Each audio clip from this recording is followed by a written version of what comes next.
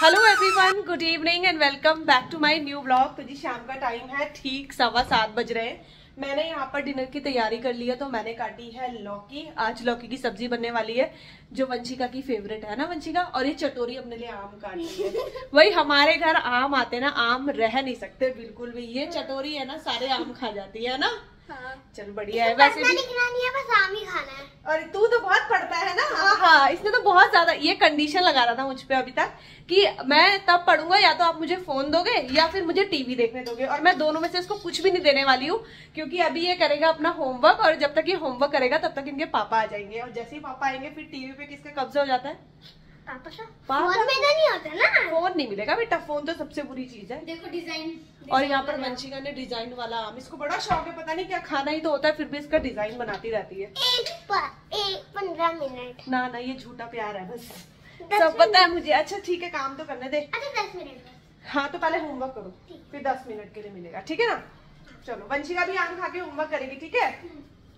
तो चलिए फटाफट से जो है लौकी की सब्ज़ी बना लेती हूँ। वैसे तो वंशिका के पापा को इतनी ज़्यादा पसंद है नहीं लेकिन जो मलाई वाली लौकी की सब्ज़ी है ना वो उन्हें अच्छी लगती है। इसीलिए वो लेकर भी आते हैं वरना बीच में तो उन्होंने लौकी लाना बिल्कुल बंद कर दिया था। तो बस यहाँ पर अभी फटाफट से सब्ज़ी बनाऊँगी। और ये देखो ये इतना ठंडा पानी पीता है ना देखो इसको। इसकी इसकी कटोरी देखो। ये देखो इतना ठंडा पानी पीता है ये। ठंडा नहीं है वो दिखने में होता है। दिखने में ठंडा है? वैसे तो बहुत गर्म होगा ना? हाँ, थोड़ा सा और गर्म कर दूँ इसको? हम्म? इसको इसके मामा की तरह लगता है, सब बोलते हैं अपने मामा की तरह, कहीं से भी नहीं लगता है अपने मामा की तरह. ये अब करते हैं डिनर की तैयारी, और सबसे पहले बनाऊँगी मैं लौकी की सब्ज़ी। तो पहले तो मैं सोच रही थी कि आयरन की कढ़ाई में मैं बनाती हूँ बट मैंने सोचा चलो, आज आयरन की कढ़ाई में नहीं, आज मैं दूसरी कढ़ाई में बनाती हूँ, स्टील की कढ़ाई में। हालाँकि स्टील की कढ़ाई में जब कभी सब्ज़ी बनाओ ना तो थोड़ा सा जलने का डर रहता है। तो अगर आप भी कभी स्टील की कढ़ाई में सब्ज़ी बनाएँ तो बिल्कुल लो फ्लेम पर बनाएँ। यहाँ पर मैंने डाला है एक चम्मच घी और साथ में मैं डालूँगी राई और हींग। राई और हींग का तड़का हम लगाएँगे इस वाली लौकी में। अगर आपको कोई और तड़का पसंद हो तो आप वो लगा सकते हैं। उसके बाद इसमें मैं जितने भी ड्राई मसाले होते हैं, हल्दी, मिर्च और थोड़ा सा धनिया पाउडर और गरम मसाला। तो ये जो धनिया पाउडर मैं इसमें डाल रही हूँ ना, इसमें गरम मसाला मिक्स है। तो मैं अलग से गरम मसाला नहीं ऐड करती हूँ तो सारे मसाले मैंने मिक्स कर दिए हैं, उसके बाद इसमें ऐड कर देंगे लौकी। और बस उसके बाद इसको अच्छे से मिक्स करेंगे और इसमें फिर थोड़ा सा नमक ऐड करेंगे। बहुत ज़्यादा नमक ऐड नहीं करना है थोड़ा सा नमक हम इसमें ऐड करेंगे।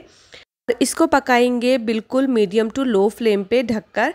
आप चाहे तो जल्दी अगर थोड़ा सा पकाना हो तो प्रेशर कुकर में भी पका सकते हैं। दो सीटी में लौकी अच्छे से गल जाती है बट मुझे लगा आज मैं कढ़ाई में बनाती हूँ, थोड़ा सा टेस्ट अलग आता है। यहाँ पर ना एक लॉट जो है लगाया हुआ था कपड़ों का तो वो धुल चुका है। तो बस उसको मुझे निकालना है और उसके बाद जो आखिरी लॉट है, वो मैं जो है डाल रही हूँ, उसमें बेडशीट वगैरह है। तो जो सेकंड लॉट मैंने कपड़ों का लगाया था ना, वो सिर्फ़ बच्चों की स्कूल ड्रेस थी। तो बस वो सब धुल चुकी है, उनको मैं बाहर डाल के आ जाऊँगी और यहाँ पर देखते हैं, सब्ज़ी बन चुकी है, करीब दस मिनट हो गए हैं। तो कढ़ाई में थोड़ा सा टाइम लग जाता है, दस से पंद्रह मिनट आराम से लगते हैं सब्ज़ी के गलने में। तो मैंने यहाँ पर हल्का सा चेक किया है तो सब्ज़ी अच्छे से गल गई थी। मैंने इसमें घर की फ्रेश मलाई डाल दी है, आधा कटोरी मलाई मेरे पास रखी हुई थी तो मैंने उसको ऐड कर दिया है। बस अब जो है ना, इसको अच्छे से मिक्स करेंगे एक बार और एक मिनट तक करीब इसको ढके पकाएँगे बिल्कुल लो फ्लेम पे और ये मलाई वाली लौकी की सब्ज़ी बनके हो जाएगी तैयार। तो उधर जो है सब्ज़ी बन चुकी है, जल्दी से मैंने यहाँ पर आटा गूंद लिया है। तो वैसे तो सुबह का आटा मैं रखती हूँ कि शाम को मेरे काम आ जाए, लेकिन आज सुबह एकदम परफेक्ट आटा गूंदा था, जो कि इवनिंग के काम नहीं आया। तो मुझे जो है शाम को भी आटा गूंदना पड़ा तो इसलिए देखिए आप मैंने थोड़ा सा ही गूंदा है बहुत ज़्यादा नहीं गूंदा है ताकि इसमें से बचेगा तो है ये तो मुझे पता है लेकिन उतना नहीं बचेगा कि अगले दिन सुबह सबके काम आ सके। तो आ, कहने का मतलब ये है कि नेक्स्ट डे मुझे दूसरा आटा ही गूंदना पड़ेगा। तो बस फटाफट से मैंने आटा गूंदा उसको सेट होने के लिए रख दिया था पंद्रह बीस मिनट और उसके बाद मैं यहाँ पर लग गई हूँ रोटियाँ बनाने के लिए। तो फटाफट से रोटी बना दूँगी मैं। और अ, मैं हमेशा बोलती हूँ ना कि मैं जो है डिनर स्किप करती हूँ तो आप लोगों के कमेंट्स आते कि दी डिनर स्किप मत किया कीजिए क्योंकि आपको वीकनेस आ जाएगी। तो अ, वैसे मुझे अभी तक तो ऐसा कुछ नहीं हुआ है। और अगर मैं डिनर स्किप कर रही हूँ तो मैं रात को एक ग्लास मिल्क ज़रूर ले लेती हूँ। तो इसलिए भी मुझे कोई इतनी ज़्यादा वीकनेस आती नहीं है। और एक चीज़ और, काफ़ी सारे लोग बोल रहे थे कि दी आप ना ये जो भैंस का दूध होता है, ये मत पिया कीजिए। क्योंकि ये फुल क्रीम दूध होता है तो मैं बता दूँ कि जो भैंस का दूध होता है, उसका जो क्रीम होती है, जो मलाई के रूप में हम लोग निकाल लेते हैं तो जब इतनी मोटी मलाई उसमें से निकल जाती है ना तो फिर उसमें कुछ बचता ही नहीं है तो इसीलिए वो एक तरीके से टोन जो मिल्क होता है ना, वही बन जाता है। तो इसीलिए जो है मलाई निकालने के बाद ही हम लोग वो वाला मिल्क यूज़ करते हैं। और यहाँ पर देखिए, मैंने दोनों बच्चों के लिए फटाफट से प्लेट लगा दी है। पहले तो थोड़ा सा नखरे दिखा रहे थे दोनों के दोनों कि हमें नहीं खाना है, लेकिन उसके बाद उन्होंने टेस्ट किया ना तो उन्हें अच्छी लगी ये वाली सब्ज़ी। ये है अगला दिन मतलब कि आज सुबह का ही ये वीडियो है। और जब मैं सुबह उठी तो देखिए, कितनी तेज़ बारिश हो रही थी। और ये जो टाइम है ना, ये छः बजे का टाइम है, जब इतनी तेज़ बारिश हो रही थी।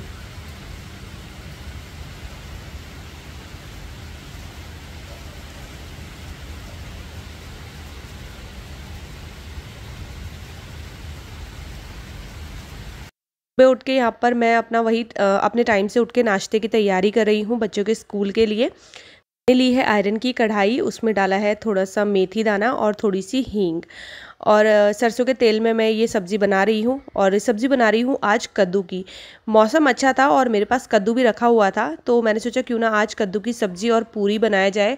बच्चों के टिफ़िन में दूँगी तो बच्चे खुश हो जाएँगे और बाहर का माहौल भी इतना बढ़िया था ना कि बिल्कुल ऐसा लग रहा था कि बस गर्मा गर्म पूरी सब्ज़ी मिल जाए तो कहने ही क्या। तो इसीलिए मैंने जो है यहाँ पर कद्दू की सब्ज़ी जो है वो चढ़ा दी है और बस यहाँ पर मैंने इसमें ड्राई मसाले ऐड कर दिए हैं। मैं कद्दू की जो खट्टी मीठी वाली सब्ज़ी होती है ना वो बनाने वाली हूँ।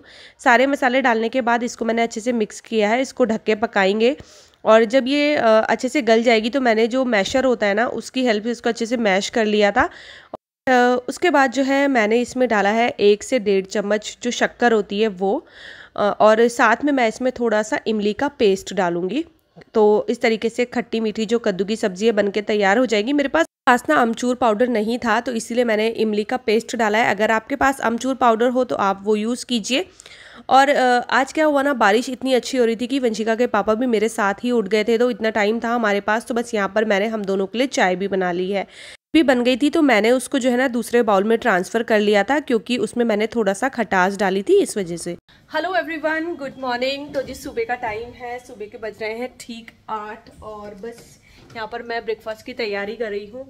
आज सुबह से ही बहुत तेज़ बारिश हो रही है मतलब लगा लीजिए अब छः बजे से इतनी बारिश हो रही है, अभी थोड़ा सा रुकी है। और इसी बारिश के चक्कर में ना आज दोनों बच्चे जो है ना स्कूल ही नहीं गए, देखिए। ये देखिए आराम से बैठे हुए। अच्छा उठ गए थे अपना टाइम पे, नहा धो गए टाइम पे, लेकिन इतनी तेज बारिश हुई ना कि मेरा मन ही नहीं किया इनको फिर स्कूल भेजने का। तो काफ़ी सारे स्कूलों की तो आज छुट्टी हो गई है यहाँ पर बट इनके स्कूल की तो शायद ही हुई होगी। लेकिन फिर भी बहुत तेज बारिश हो रही थी, इसलिए मैंने इनको नहीं भेजा। मैंने कहा, चलो, आज बच्चे घर में इंजॉय कर लेंगे। और आज मैंने सोचा हुआ था कि इनको स्कूल के लिए ना कुछ स्पेशल दूँगी, क्योंकि मौसम जो है बारिश का हो रहा था बट मुझे नहीं पता था कि इतनी तेज हो जाएगी। तो मैंने बनाई है यहाँ पर कद्दू की सब्ज़ी।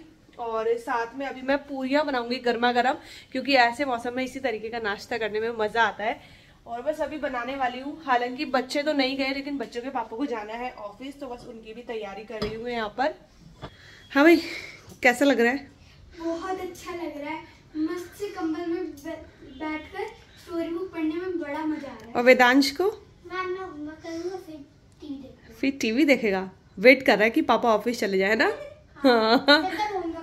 चलो ठीक है, मैं नाश्ता बना रही हूँ, पहले नाश्ता कर लेना, ठीक है? चलिए, मैं भी फटाफट से जो है सबके लिए नाश्ता वगैरह बना देती हूँ, फिर जल्दी जल्दी से अपने घर के सारे काम निपटाऊँगी।